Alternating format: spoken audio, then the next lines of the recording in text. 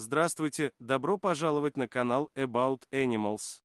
Женщина, которой пришлось на 6 месяцев переехать в другой город, оставила свою собаку под присмотром знакомого. Он заверил ее, что будет тщательно заботиться о питомце. Однако, кажется, знакомый взял эту обязанность слишком близко к сердцу, когда владелица вернулась, ее лабрадор стал настолько большим, что едва помещался в дверь. Чермейн Халли часто общалась с другом по видеосвязи, и он регулярно показывал ей собаку, и все казалось в порядке.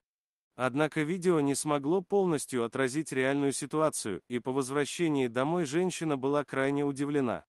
Ее друг взял просьбу присмотреть за псом очень серьезно. Прежде всего, он начал кормить лабрадора человеческой пищей, не стесняясь добавлять в миску даже большие стейки и гамбургеры. Только посмотрите на эту собаку. Она просто не влезла в дверь, написала Чермейн, подписывая фотографии. Когда собака увидела свою хозяйку на улице, она, конечно же, побежала к ней. Но лабрадор не учел своих новых габаритов и застрял в дверце для животных.